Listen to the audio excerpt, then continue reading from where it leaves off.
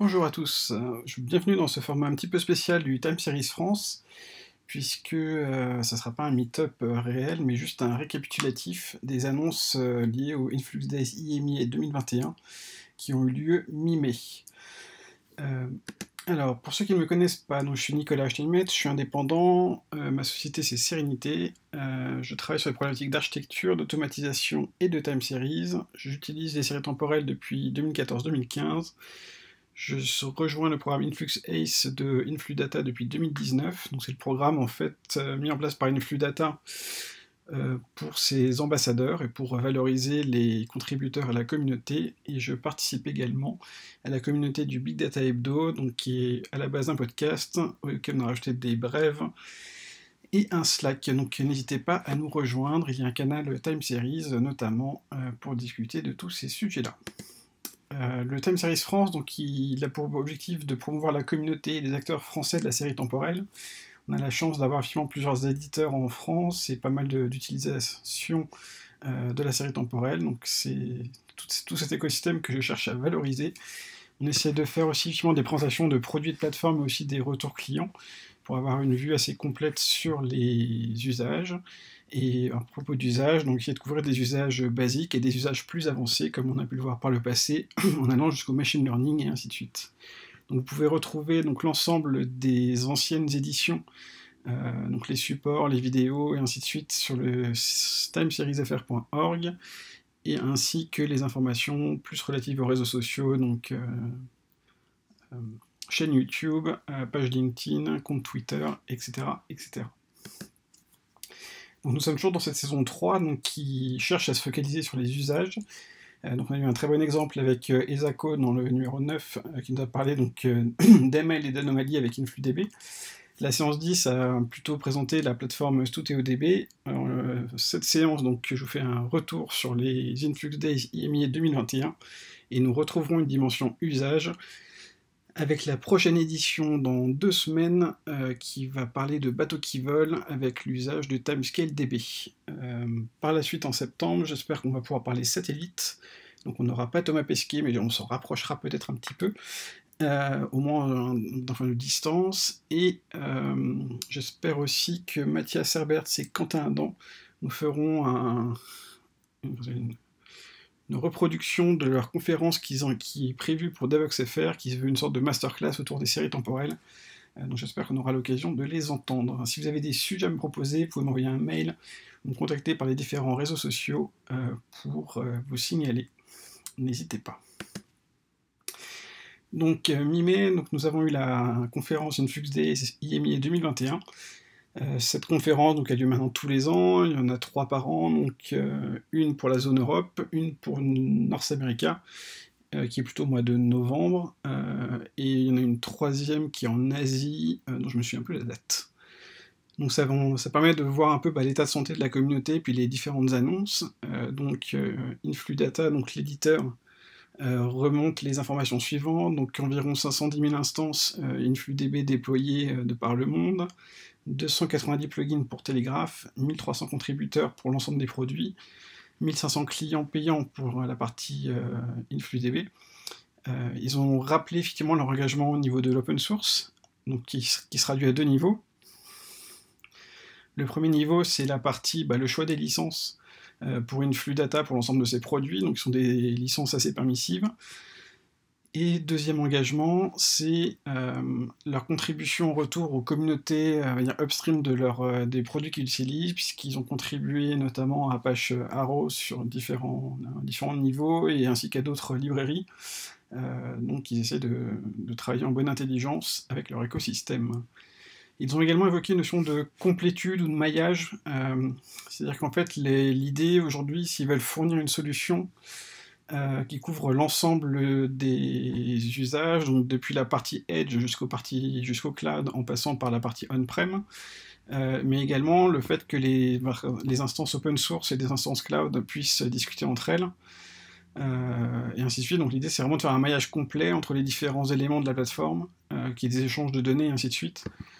Donc c'est notamment ce qu'on est en train de se construire au niveau de IEX, euh, donc le nouveau euh, moteur de stockage d'InfluDB, qui permettra des réplications partielles ou totales de données, et ainsi de suite.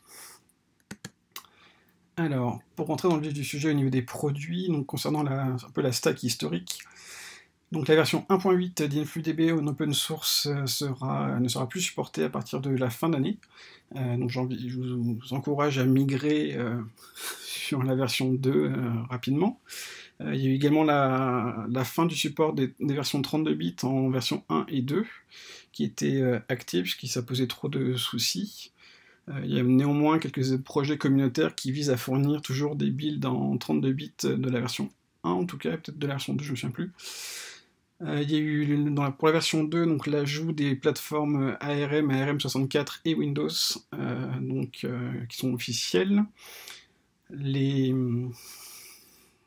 Un point effectivement sur la partie InfluxDB 1.8, les correctifs, donc effectivement en open source ils ne prévoient pas de fournir de nouvelles versions.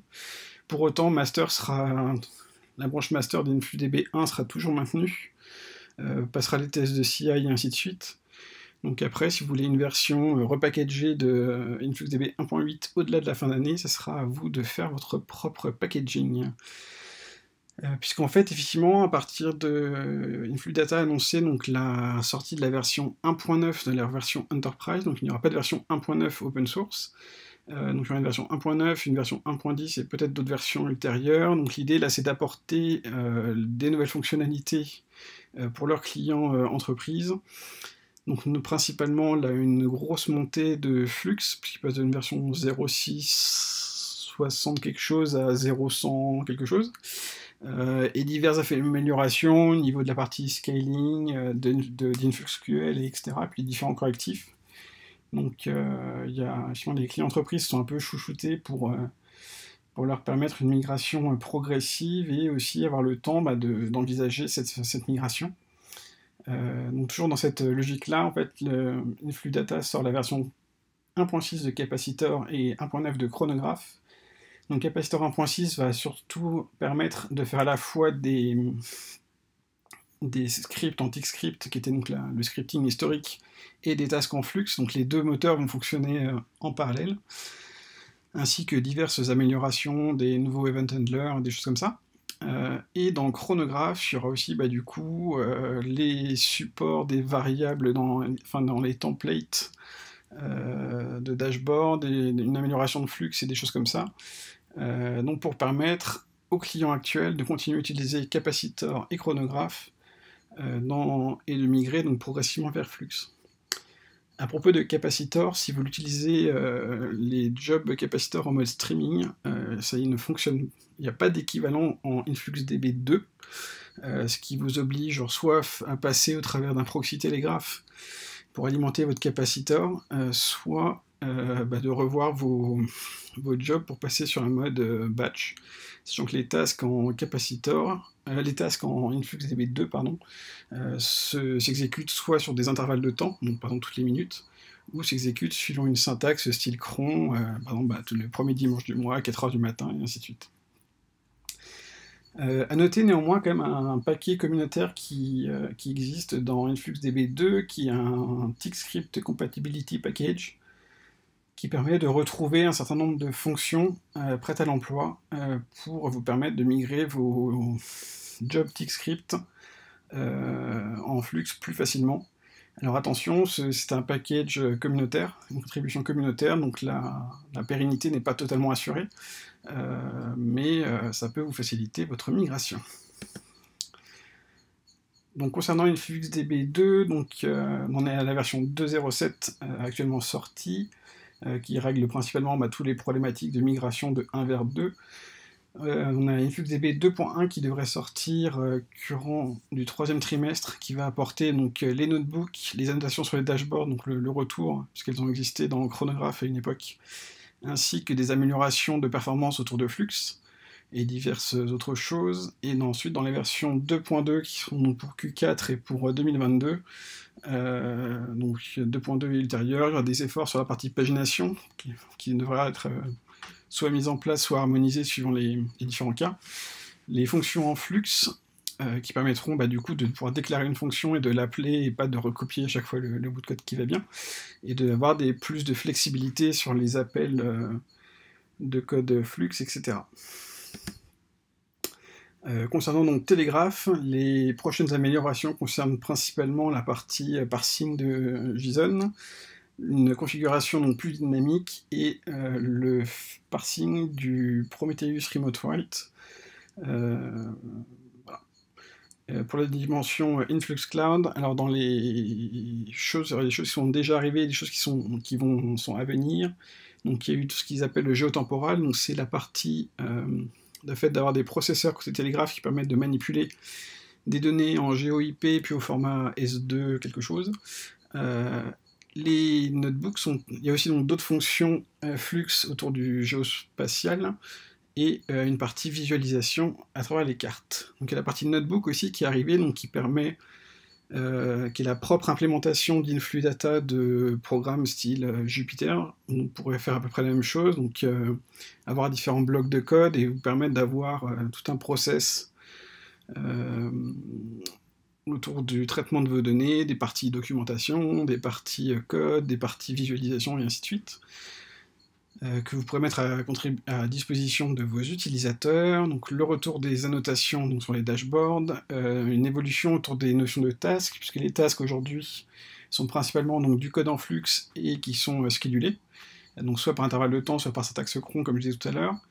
mais donc là, l'idée, c'est d'avoir des fonctions qu'on peut appeler, qu'on peut déclarer facilement, d'avoir des triggers pour que ces fonctions puissent réagir sur des événements, puis ces fonctions puissent avoir aussi des paramètres, euh, qu'on puisse exécuter au travers de webhook. Et il y a un euh, travail aussi sur la notion de polyglotte. Donc c'est un exemple qui a été donné, c'était de pouvoir euh, faire des tasks en Python, qu'elles soient exécutées, donc du coup pour permettre notamment bah, aux data scientists de ne pas avoir à prendre du flux. donc il y a tout un travail là-dessus pour des choses plus, plus universelles. Il y a des notions aussi d'import-export pour en termes d'amélioration des données, puis de mise à disposition des données. Et enfin, un travail autour d'un explicit schéma, donc qui serait vu un peu comme une schéma registry, où l'idée c'est de pouvoir valider euh, les données qui sont en entrée et euh, éventuellement bah, si, elles, ne correspondent pas au, schéma qui est défini, bah, de les refuser euh, ou en peut-être de les compléter. Donc il y a des travaux autour de ces sujets-là. Euh, enfin, donc, euh, on, peut, va parler de d'IOX, qui est le nouveau moteur de stockage InfluDB qui a été annoncé par euh, Paul Dix il y a un petit moment. globalement, c'est basé sur Apache Arrow et c'est codé en Rust. et quand je dis Apache Arrow, c'est vraiment au sens très large. Ça utilise aussi Data Fusion et d'autres composants, Arrowflight, etc. Donc c'est vraiment l'écosystème Arrow qui est utilisé.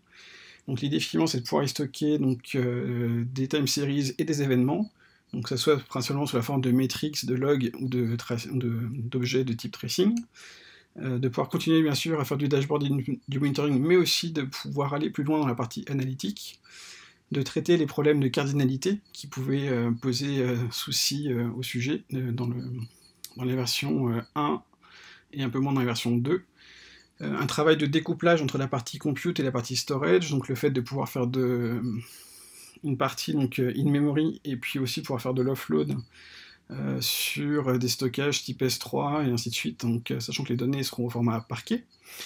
donc des travails notions d'import-export pour permettre, par exemple, les data scientists de récupérer des données pour du machine learning et ainsi de suite. des notions de réplication, donc pour permettre une, un côté haute disponibilité de vos instances, mais aussi des données de subscription. Là, c'est plus pour des sujets de streaming. Euh, et d'abonnement, et ce qui vous permettrait aussi d'envisager des réplications partielles de vos données? On, peut, on pourrait imaginer que euh, vous avez, donc si on reprend là le fameux maillage qui cherchait à évoquer entre la partie Edge, euh, la partie cloud, on-prem, etc., on pourrait imaginer ben, que des données transitent soit la, maison, la totalité vers du central, mais par contre ensuite qu'il y ait des réplications plus partielles parce que ben, des métiers ont besoin d'avoir que des vues je sais pas, régional par exemple, ou euh, des données, ou ainsi de suite. Donc il y aura des mécanismes de ce type-là.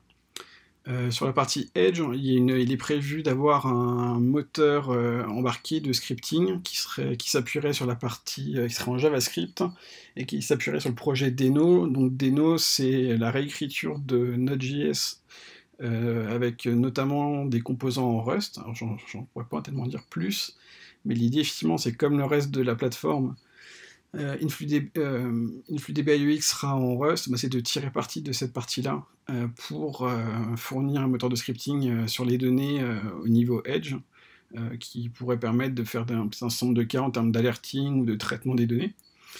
Et aussi un point qui est important, qui est la notion d'un layer SQL pour accéder à vos données, qui se fait donc au travers de Data Fusion et qui respecterait le protocole Postgres, qui est utilisé dans, pas mal de cas, euh, et qui permettrait du coup d'accéder à vos données et d'ouvrir éventuellement le, euh, bah, l'accès à une flux DB au travers des peut-être d'outils comme Tableau ou des outils de reporting et des choses comme ça qui sont plutôt habitués à faire du SQL que des langages custom.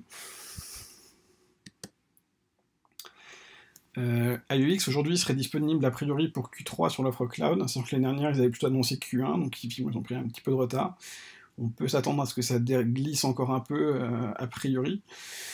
Et euh, concernant la partie open source, donc en fait il y aurait soit une version full AUX qui serait disponible, mais il y aurait aussi une version 2 comme actuellement avec un, plugin AUX à rajouter on pourrait quelque part assimiler ça à, MySQL où on est soit sur un moteur euh, MyISAM, soit InnoDB, soit autre chose.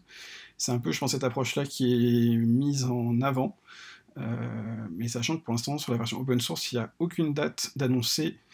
Euh, je pense que pour l'instant, il faut se dire qu'il n'y aura rien avant 2022, voire même fin 2022. le temps déjà que IEX soit stable euh, est validé sur la partie sur l'offre cloud d'Infludata, et ensuite bah, toute la partie repackaging et ainsi de suite, euh, pour permettre à ce que ça arrive dans l'offre cloud, dans l'offre open source, pardon. Euh, je vous invite à retrouver donc l'ensemble des vidéos de la saison, de cette édition pardon, euh, des Influx Days, euh, il y a des choses au niveau de Grafana, il y a différents retours clients, il y y a des choses sur Telegraph, sur la zone dashboard, sur euh, Giraffe, le composant pour faire des ses propres visualisations si on veut mettre à disposition par exemple des données issues de d'InfluDB dans dans ces applications. Donc on ne veut pas donner accès à la UI en tant que tel d'InfluDB. Donc pas mal de choses euh, que je vous invite à aller consulter euh, le cas échéant. Voilà. Euh, voilà pour ce résumé de toutes les annonces de, de, ces InfluDB, Influx Days IMIA 2021. Je vous donne rendez-vous le 29 juin, donc dans 15 jours à 18h, pour parler d'un bateau qui vole et de son utilisation de TimescaleDB, de comment les données sont mises à contribution des data scientists et ainsi de suite. Euh, donc voilà, et je vous mettrai le lien de l'article qui était à l'origine de la prise de contact avec la personne en charge de ce projet-là, euh, pour vous donner un petit peu un aperçu. Euh, j'espère que ce format et que ce résumé vous aura fait plaisir. si vous avez des questions, n'hésitez pas à me les poser. Je ne suis pas rentré dans, tous les détails euh, de façon volontaire, mais si vous avez des questions ou des précisions, n'hésitez pas. Euh, merci et à bientôt.